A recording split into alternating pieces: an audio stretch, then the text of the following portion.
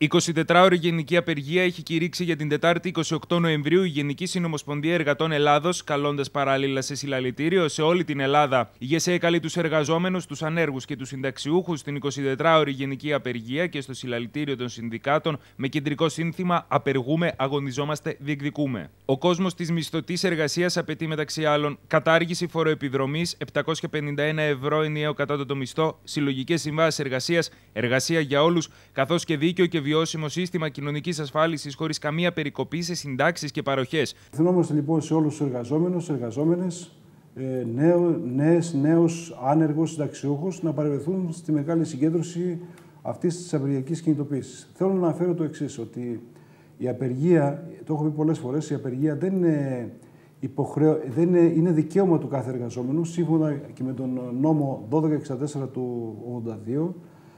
Κατά πρώτον. Δεύτερον, στη δύσκολη αυτή οικονομική κρίση ο κάθε ένας σκέπτεται πραγματικά πώς θα χάσει το μεροκάματό του, τα 40-50 ευρώ ο καθένας, ό,τι, ό,τι παίρνει, ας πούμε.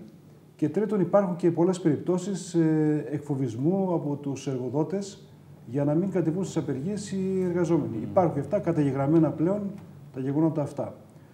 Εμείς ε, αγωνιζόμαστε και διεκδικούμε αυτά που διεκδικούμε όλα αυτά τα τελευταία 8 χρόνια από την εποχή της ε, κρίσης, δηλαδή σταθερή εργασία, δίκαιο ασφαλιστικό και φορολογικό πλαίσιο, πλαίσιο ελεύθερη συνδικαλιστική δράση.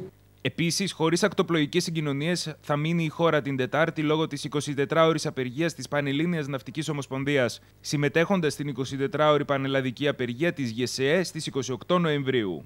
Η κινητοποίηση της Πανελλήνιας Ναυτικής Ομοσπονδίας περιλαμβάνει όλες τις κατηγορίες πλοίων.